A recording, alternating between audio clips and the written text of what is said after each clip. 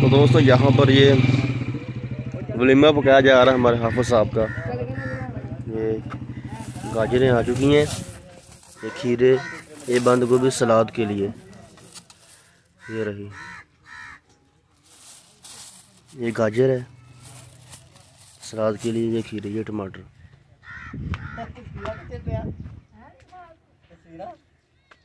Video?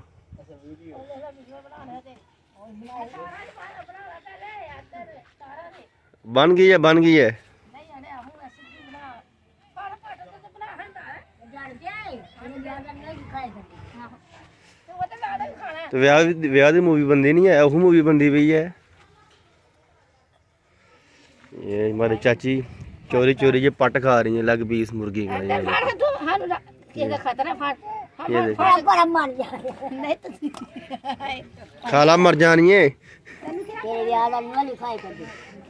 ये अभी शर्मा रही है मूवी बनाने में।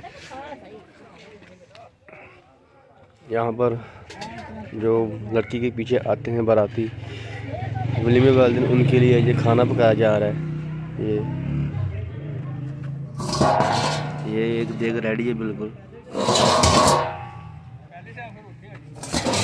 ये चावल।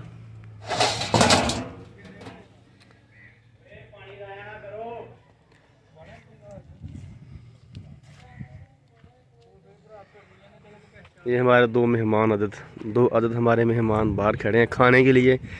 भूख से निडाल हैं, देखें, दरख्त का सहारा लेके खड़े हैं, वो देखें। शर्मा रहे हैं कैमरे के सामने। और वहाँ सामने टेंट लगाया गया जहाँ पर हम मेहमानों को बिठाएँगे और खाना वहीं भी हम खिलाएँगे। ये हमारे ड्राइवर साहब इस रिक्शे में वो सारा सामान लेकर आए हैं। तो यहाँ पर दूल्हा और दुल्हन को बिठाया जाएगा, जैसे ही मेहमान आएँगे। आगे एक टेबल है, ये सोफ़ा रखा हुआ है हाफिज साहब की जहेज़ का सोफ़ा है। अभी हमारे भाई गिलासों के अंदर टिश्यू वगैरह रख रहे हैं। ये सारे के सारा, ये विलेज में इस तरह का शादी का माहौल होता है। पहले फ़ैसला किया था कि उस घर की छत पे ये सारा का सारा इंतज़ाम करना है, लेकिन जगह वहाँ कम थी तो बिजली भी नहीं थी नीचे, फर्श है। लेंटर है तो गर्मी ज़्यादा होनी थी तो इसीलिए अपनी ही ये ज़मीन है। यहाँ पे बाजरे की फ़सल सुबह हमने वो काटी और काटने के बाद नीचे अभी दरियाँ लगाई हैं, टेंट वगैरह लगा के ऊपर, कोपा लगा के ये सारे का सारा जो इंतज़ाम हमने कर लिया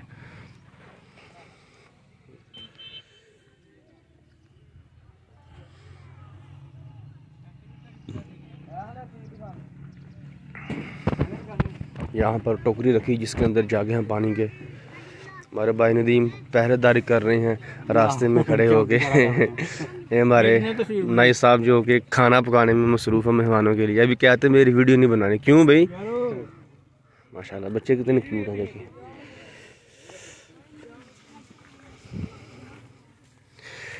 ये जी हमारे यहाँ पे इस तरह हमने यहाँ पे किले ठोक के ना लकड़ी के तो टेंट हम लगाते हैं यहाँ पे। रस्सियाँ मजबूती से बांधी गई हैं।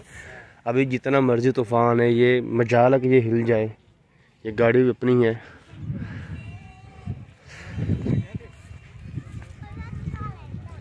दोस्तों, ये वो बाजरे की फ़सल है जो मैंने आपको पिछले व्लॉग में दिखाई थी सुबह के वक्त। अभी आधी है जो वो कट चुकी है, आगे चूँकि फिर वलीमा था आज कज़न का तो आधी हमने छोड़ दी यहाँ पे, ये देखे। और बाकी ये हम काटेंगे सुबह। थोड़ी सी किनारे पे छोड़ दी है क्योंकि लोग आते हैं कि हमें काटने के लिए, दो चारे के लिए। लेकिन असल में ये हमने रखी है आग जलाने के लिए। हम इसे ईंधन के तौर पे इस्तेमाल करते हैं। सिट्टे हम उतार के यहीं पे मशीन के साथ सॉरी, कतराई कर लेंगे।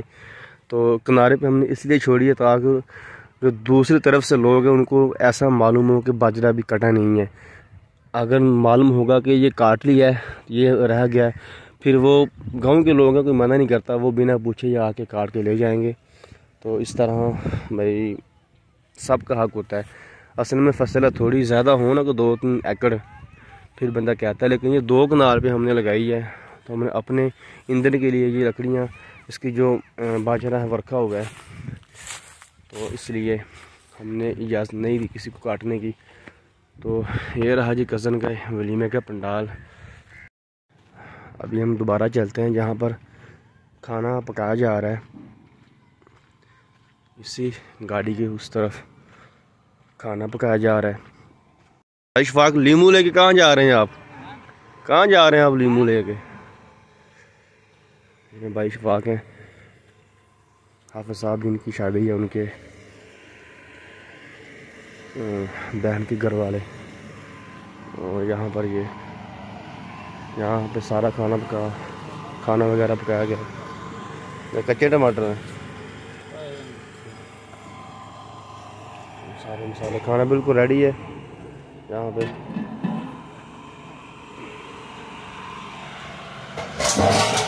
ये देखिए। नहीं ओबरा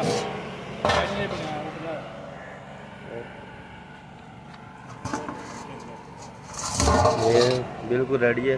खाने के लिए पक चुका है ये हमारे चचा जान हमारे पकवाई के काम करते हैं सारे घरों का ये क्या खुशबू है यार मज़ा आया भूख चमक उठी है इंशाल्लाह इंशाल्लाह खाएगा और मज़े की बात मेरी शादी पे भी इन्होंने ही खाना पकाना है ऐसी बात है ना ऐसा खाना पकाना कि लोग उंगलियाँ चाटते रहे मेरी शादी है इसलिए हाँ ये देखें